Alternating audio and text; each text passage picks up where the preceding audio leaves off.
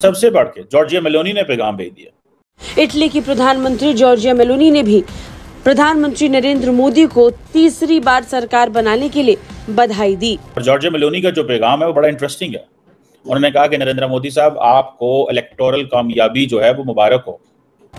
Italy की प्रधानमंत्री Giorgia Meloni ने पीएम मोदी को बधाई देते हुए कहा कि नई चुनावी जीत पर और अच्छे काम के लिए मेरी हार्दिक शुभकामनाएँ। न, अभी उनके पास मेजोरिटी नहीं आई। ये है क्रेडिबिलिटी इसे बोलते हैं कि दुनिया आपके साथ हर कीमत पे चलना चाहती है। ये भारत कैसा मुल्क है यार? इसको पता ही नहीं इलेक्शन कैसे करवाने हमसे सीखे। तो अवाम जो है उसने अपना ट्रस्ट जिसमें शो करना था वो कर दिया। और उसने किसमें किया? उसने बीजेपी में किया। उसने नरेंद्र मोदी के अलायंस में किया। चाँद पे मोदी ले गया हिंदुस्तान को। जी ट्वेंटी का समिट होस्ट उसने कर दिया है। मतलब कि हिंदुस्तान को एक इंटरनेशनल लेवल पर बहुत एज मिला है इस दो टेन्योर्स भारत में इलेक्शन हो चुके नई हुकूमत आ रही है। क्या कोई अमन का हम उम्मीद रखें उम्मीद की किरण कोई नज़र आती है। भारत के इलेक्शन की बात करें तो पूरे इंटरनेट पे एक सेंसेशन छाई हुई है ध्रुव राठी। भाई इतने बड़े दहशत गर्द को मोदी ने कैसे आज़ाद छोड़ी रखा? इसके खानदान को नहीं पकड़ा इसके किसी जानने वाले को नहीं पकड़ा इसके किसी दोस्त को नहीं पकड़ा नंगा नहीं किया ईंटें नहीं लटकाई उल्टा नहीं लटकाया मारा नहीं। ये कैसा मुल्क है भाई? सबसे बढ़ के जॉर्जिया मेलोनी ने पैगाम भेज दिया। और जॉर्जिया मेलोनी का जो पैगाम है वो बड़ा इंटरेस्टिंग है। उन्होंने कहा कि नरेंद्र मोदी साहब आपको इलेक्टोरल कामयाबी जो है वो मुबारक हो।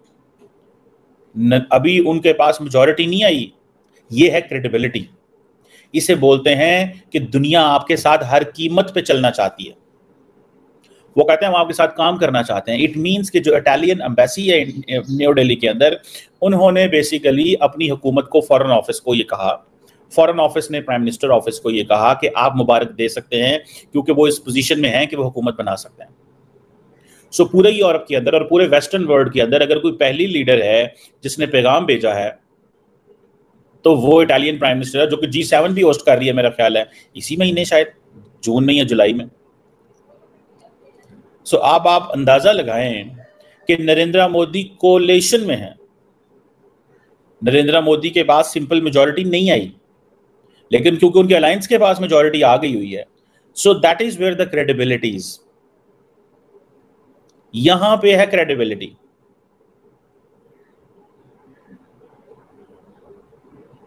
यहाँ पे है क्रेडिबिलिटी कि अभी अभी वो जीते नहीं है मतलब उन्होंने ओथ नहीं उठाया। और श्रीलंका के हर शख्स ने, सबक सदर, मौजूदा सदर, पिछले सदर, आने वाले सदर मतलब उधर तमाम पॉलिटिकल पार्टीज़ ने और नरेंद्र मोदी का अगर आप ट्विटर हैंडल देखें तो वो हर एक को रिस्पॉन्ड कर रहे हैं। हर एक को रिस्पॉन्ड कर रहे हैं। डिस्पाइट भूटान जो है, उसकी लीडरशिप ने भी रिस्पॉन्ड वजी अजम ने पैगाम भेज दिया कि जी हमें बड़ी वो जैसे कहेंगे ना, खुशी है आपकी जीतने की है नो जो जिस तरह फिर होता है। अभी नरेंद्र मोदी को पूरा मतलब वो जो जिसे कहते हैं उन्होंने अपनी स्पीच नहीं की थी। उन्होंने अपनी स्पीच नहीं की थी नरेंद्र मोदी ने। और उन्होंने उनको ये सारे के सारे सिग्नल्स जो हैं वो चले गए। ये चीज़ है, मैं देखता हूँ, इसको हम बोलते हैं क्रेडिबिलिटी इसको हम बोलते हैं कंसिस्टेंसी इसको हम बोलते हैं लॉन्ग टर्म रिलेशनशिप इसको, ये चीज़ें जो आप अगर देखें तो फिर पता चलता है आपको जनाब की चीज़ें किस डायरेक्शन में जा रही हैं। मतलब उनकी जो उनके पास जो हुकूमत है इस वक्त नरेंद्र मोदी के पास, वो हुकूमत तो बना लेंगे। और बन गई है, वो थर्ड टाइम प्राइम मिनिस्टर है सीधा सीधा नज़र आ रहा है। इधर पाकिस्तान की सरकार को देख लें कि हमारे वज़ीर आज़म साहब ने हल्फ उठा लिया, किसी ने मुबारक नहीं दे हुकूमत जीत गई, पार्टी जीत गई कोलेशन गवर्नमेंट बन गई, सारी की सारी वजारतें बांट गई एक किसी वेस्टर्न लीडर का फ़ोन नहीं आया पाकिस्तान में। एक वेस्टर्न लीडर का। मैं तो इन चीज़ों पे बड़ा हैरान हूँ।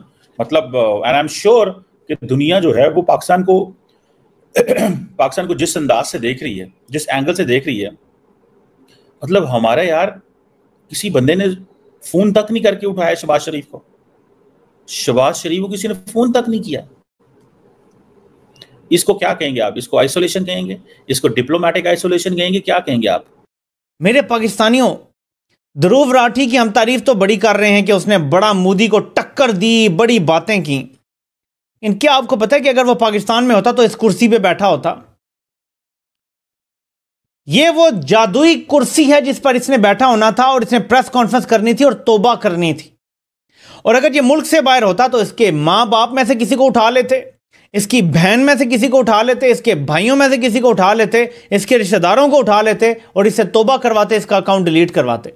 ये भारत कैसा मुल्क है यार? इनको समझ ही नहीं है।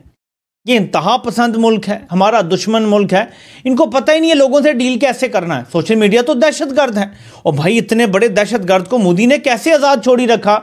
इसके ख़ानदान को नहीं पकड़ा, इसके किसी जानने वाले को नहीं पकड़ा, इसके किसी दोस्त को नहीं पकड़ा, नंगा नहीं किया, ईंटें नहीं लटकाई, उल्टा नहीं लटकाया, मारा नहीं। ये कैसा मुल्क है भाई?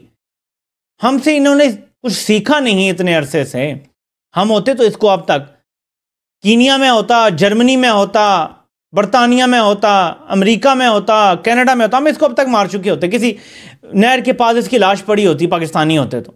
ये कैसा मुल्क है यार कि ये अपने सबसे ताकतवर हुक्मरान के मुकाबले में बोलता रहा, जिसके इंतहा पसंद फॉलोअर्स हैं, और इसको किसी ने ज़बरदस्ती चुप नहीं करवाया। किसी ने यूट्यूब को दरख्वास्तें नहीं दी कि इसका चैनल बंद कर दो, और यूट्यूब ने बंद कर दिया हो। किसी ने इसको डिजिटल दहशतगर्द नहीं कहा। और एक पाकिस्तान में नेतन याहू के पैरोकार हैं, वो सोशल मीडिया को दहशतगर्द करार देते हैं। के प्रधानमंत्री देश के प्रति क्या करना चाहते हैं आने वाले पाँच साल में? और हम लोग क्या करना चाहते हैं? For the betterment of Bharat. Bharat next five year Bharat best infrastructure Bharat best Indian railway system Bharat bullet Vande train enhance करेंगे। भारत सोलर पावर पूरे भारत में भारत सेमीकंडक्टर हाइड्रोजन मिशन जो अपकमिंग है हमारा, भारत बेस्ट वाटरवेज किसी को दिक्कत आज भी नहीं हो रही है दस सालों में पानी का और आने वाले वक्त में भी नहीं होगी। भारत गगन, गगनयान, स्थिर, समृद्ध, सशक्त Bharat Bharat best defence expert and export Bharat युवाओं की शक्ति, Bharat best space sector Bharat best solar power Bharat best EV EV manufacturing ये है वो वो कार्य जो मोदी जी करेंगे।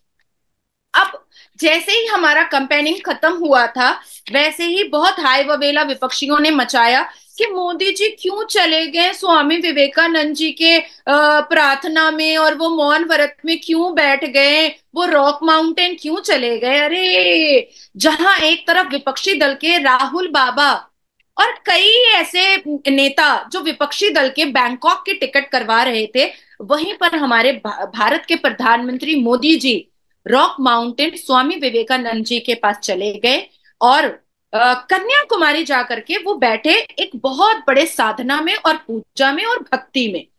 और याद रहे कि एक बहुत बड़ा ड्रीम हमारे भारत के प्रधानमंत्री का आ, का था आ, सागर माला श्रीलंका और भारत की कनेक्टिविटी को स्ट्रॉन्ग करना और बहुत नॉर्मलाइज करना। और वहाँ से उन्होंने उसका शुरुआत कर दिया।